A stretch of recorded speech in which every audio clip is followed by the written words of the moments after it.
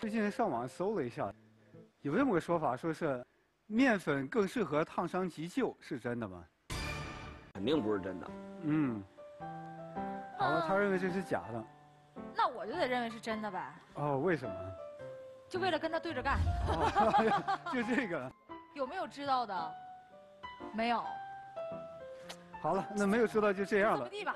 两位嘉宾都已经把答案给出来了。就这样吧。事的真相到底是什么呢？请看我们的调查短片。用面粉更适合烫伤急救，是真的吗？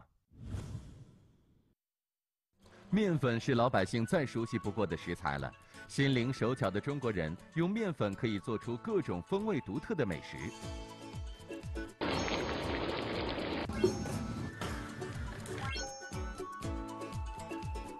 但近日，网上流传着这么一个说法：面粉不仅可以用作食材，竟然还有治疗烫伤的妙用。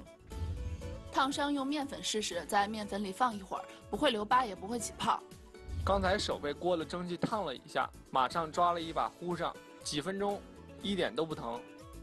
更有网友总结出经验：烫伤后使用在冰箱里冷藏的面粉，效果更佳。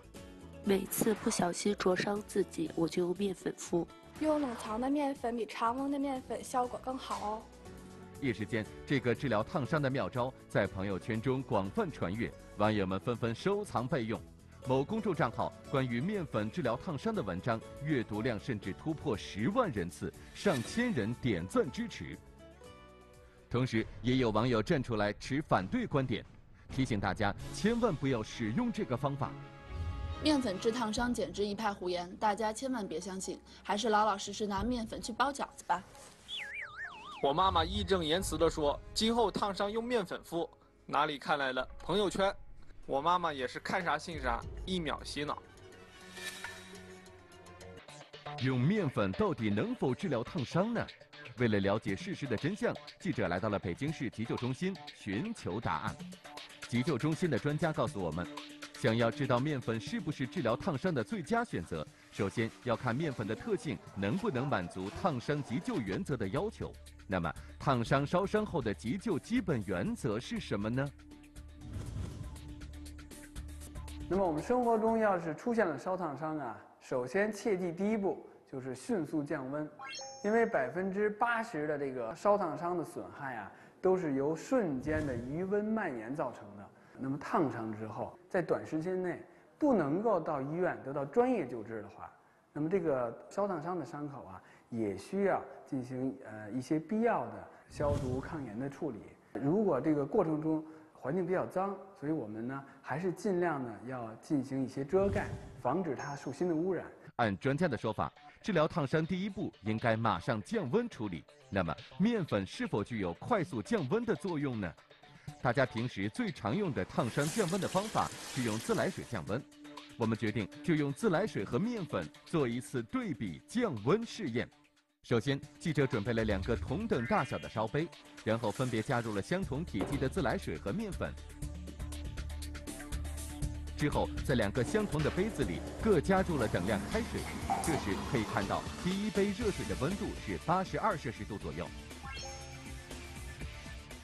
第二杯热水的温度也是八十二摄氏度左右。接着，分别将杯子放到盛有常温自来水和常温面粉的烧杯中。一分钟过后，杯里热水的温度会有什么变化呢？时间到了，记者分别给两组杯子里的热水测量温度，测出在自来水中的热水。此时温度是三十七度左右。那么用面粉降温的热水温度会不会比三十七度更低呢？温度计最终显示温度约为六十四度。由此可见，实验中用常温自来水帮助降低了四十五度左右，而在常温面粉作用下，仅仅帮助降低了十八摄氏度。从实验看，面粉的降温作用显然不如常用的自来水，这是什么原因呢？第一点，因为它是粉末状的，它的热容比较低，也就是它只能带走比较少的热量。水呢，它是在几乎所有物质里面热容是最高的。第二点呢，因为水是可以流动的，哪怕是你放在水盆里面，水受热以后，它也它也会发生对流，所以降温效果更好。那么，网络上这种说法的存在，是否是因为面粉具有消炎杀菌或是保护伤口的作用呢？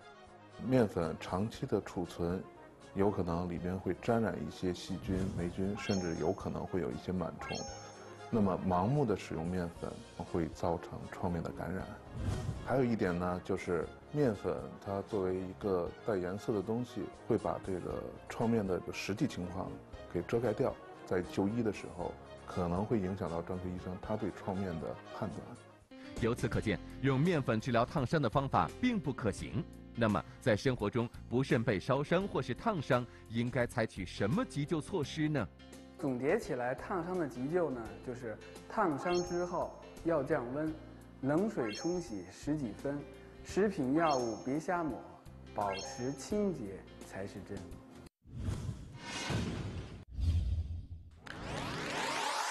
通过刚才这个视频，我们可以看到面粉更适合烫伤急救的说法是假的。他他总是突然间我。